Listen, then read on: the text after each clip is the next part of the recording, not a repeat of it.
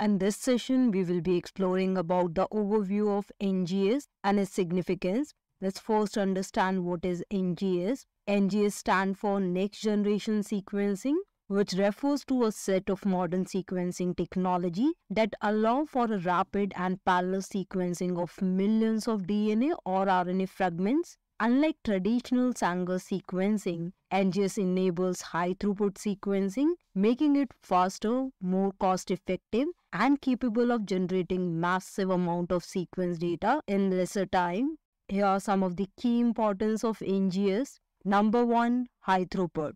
NGS platform can simultaneously sequence millions of DNA fragments, enabling researchers and scientists to generate vast amount of genomic data in a shorter period of time. It is also cost effective.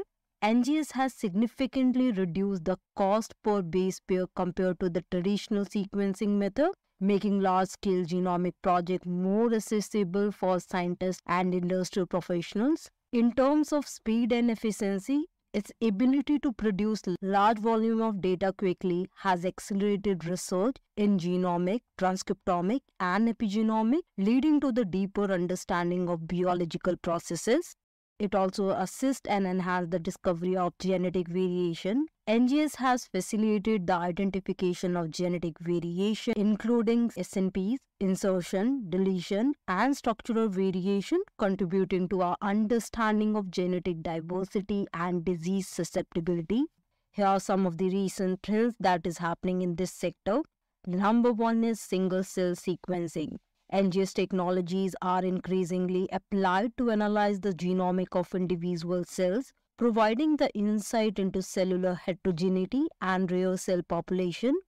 The next area is metagenomic. NGS is instrumental in studying microbial community through metagenomics, allowing for the analysis of entire microbial genome directly from the environmental sample. The next sector is epigenomic.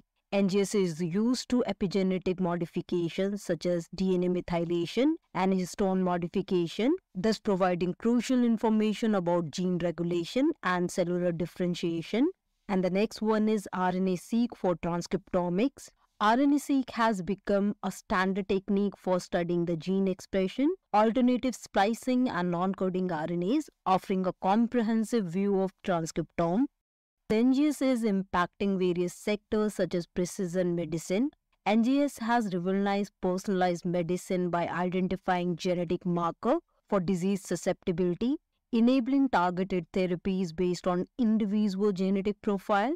It is also playing wonderful role in cancer genomics. NGS has played a pivotal role in understanding the genetic basis of cancer, identifying the driver mutation, and guiding the development of targeted therapies. The next significant impact you can see uh, in the area of infectious disease surveillance. NGS is used to track and monitor infectious diseases outbreak, providing insight into the evolution and spread of pathogen. These are few of the areas where NGS is having scope. NGS is likely to become more integrated into the clinical practice, influencing diagnostic, treatment decision, and disease prevention.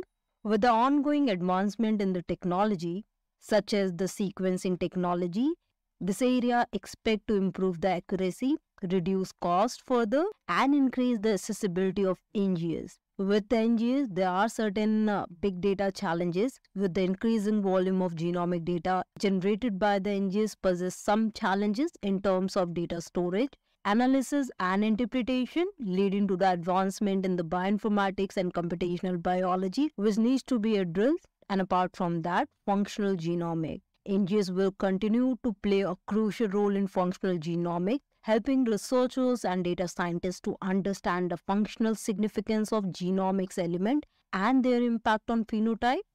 I hope you have liked this session. Don't forget to like and subscribe the channel and do share these information among your scientific endeavor. Stay at the forefront of these development and integrate them into your research and education.